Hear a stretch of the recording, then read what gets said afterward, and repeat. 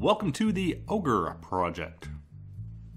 Normally for these videos, I try to keep them short, keep each clip to about 30 seconds or so to fit into everyone's attention span, but in this case, we're going to do something different. In this series, I'm going to be showing you pretty much everything. So with this Reaper Ogre, I'm going to show you the whole process. We're not going to cut out, well, we're going to cut out a few things, but you're going to see about 90% of the painting process. And in this first part, we are just going to be painting the basics of the skin. So to begin with, I started with an undercoat of green brown, and that is our uh, deepest shade layer. That goes over the entire miniature, and right now we are painting the second shade layer, which is a mix of green brown and green ochre. We are painting this through the process of layering, that is thin transparent layers of paint. You can see our paint is thinned on the palette and we load up the brush and when the brush goes off camera, I'm touching into a paper towel to absorb excess moisture from the brush. And we know we have the proper amount of moisture on the brush when we do a brush stroke and it's a smooth even line and there's not a drop of excess water at the end of the brush stroke. If, the, if that is there, means we have to go back to the paper towel and give it another quick wipe. Since we're working on the secondary shade, and this is going over 90% of the miniature, we don't have the paint too thin uh, just yet. This is about 1 to 3 paint to water paint ratio. And uh, how much you thin your paint mainly depends on it depends on several factors. It mainly depends on how fast you want to paint. The thinner the paint the longer it takes to paint uh, but the less brush strokes that are going to show up in the final results. And i'm taking my time on this miniature so i have to paint a lot thinner or on the thinner side than what i would do if i wanted just to paint something in uh, one evening so this layer gets you applied everywhere except for the deepest recesses where we still want the straight green brown to show. And this process takes uh, quite a while because we have a large miniature here and I'm applying it over 90% of the surface area of the skin and there's a lot of skin. So this section right here, uh, I sped up the video to uh, 150%. So it's a little faster than normal, and even there, it's this clip was about seven and a half minutes. I've cut it down to five minutes because even seven and a half sped up for me was too long. So this is the whole process, and notice as we're painting, we're not just painting over every area once. The whole process of layering is layer upon layer upon layer until we stop seeing uh, results from applying an additional layer. So we keep going around the miniature until we are highlighted up to the point where it matches the mix that we have on our palette.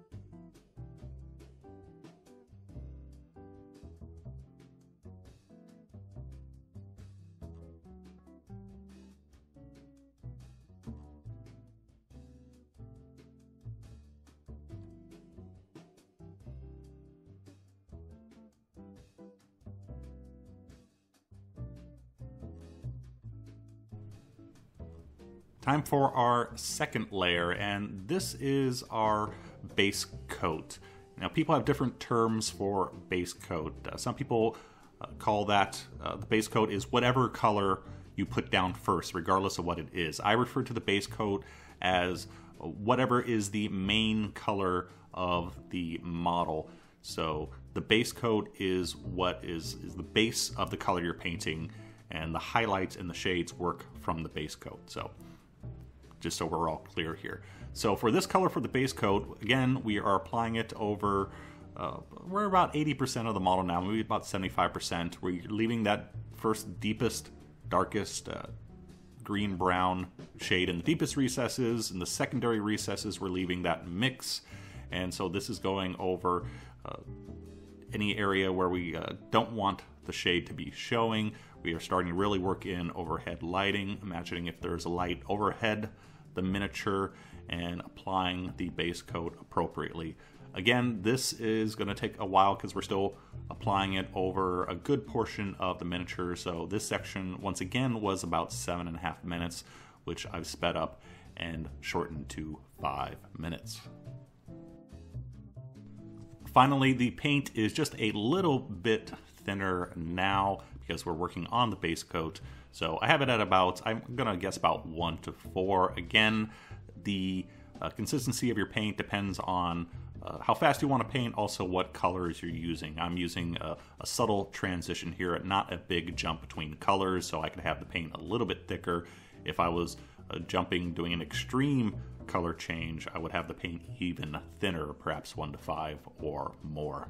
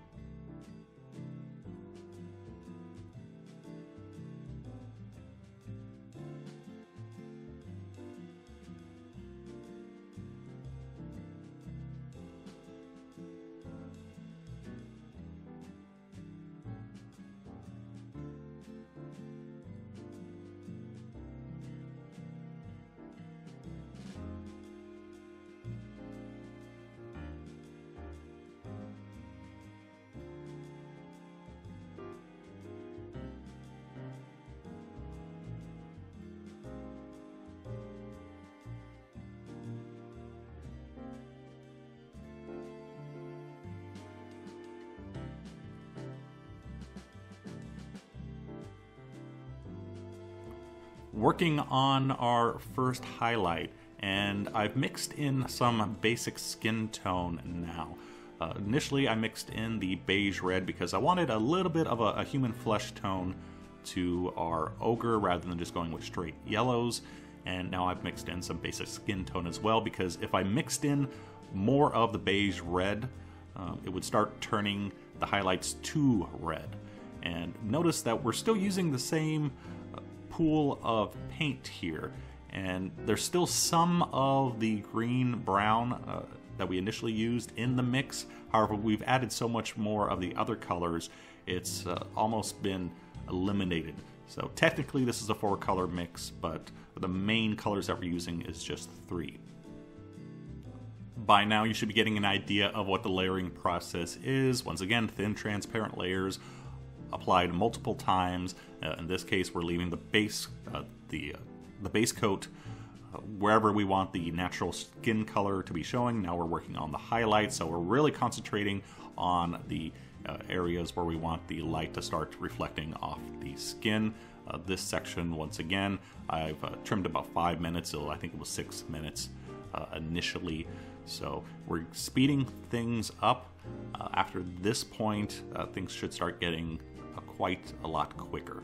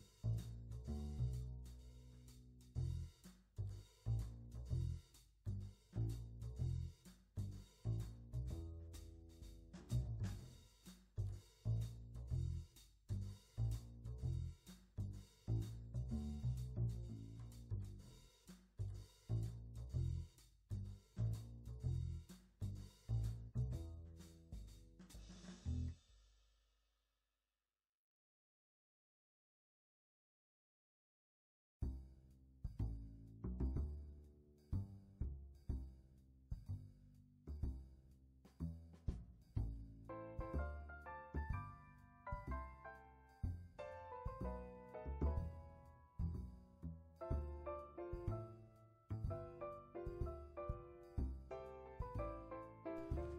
Working on our secondary highlight now and we've eliminated all the green brown. I actually have a new mix here. We eliminated all the uh, beige red as well, just using basic skin tone and green ochre. And uh, this is where the process really starts speeding up because we're really concentrating on much smaller areas of the model. Uh, we do have the paint thinner here we're closer to about one to five, which is I've been using for the past mixes as well. Uh, again, you can use thicker paint, which will speed up the painting process, but you'll have more brush strokes that will show up. And I am taking my time with this particular miniature. So with this layer, we're looking at applying it to roughly about 20% uh, surface area on the skin, uh, really holding the miniature looking at it from straight above so we can determine exactly where we want the light to be hitting the skin and applying the highlights accordingly.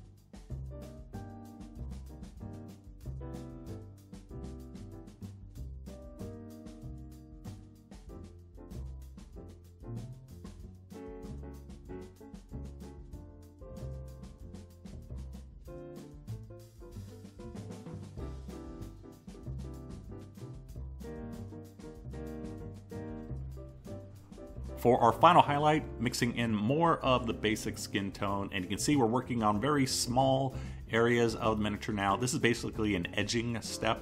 It's just that there's no real edges because we're doing uh, skin tone, so we have much more uh, curved areas and sharp edges, but the process is pretty much the same. Uh, really concentrating on those highlights so we can get a good sheen on the skin, and you can see the brushstroke is uh, much more controlled at this point. Uh, just putting on basically spots rather than broad brushstrokes. And the painting process is much quicker. We've gone from uh, seven and a half minute clips and we're down to clips that uh, still sped up, but I have not shortened at all, so we're at about three minutes at this stage. And that's about it for the basics of layering and painting the skin. However, we are not done with the skin. We're going to be doing a lot more to it. However, I'm breaking this up into separate videos so we don't end up with one really long three hour video and you can pick and choose which parts you want to go over.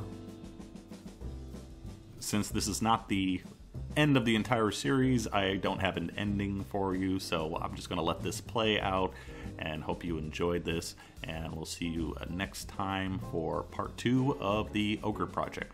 Thanks for watching. Bye bye.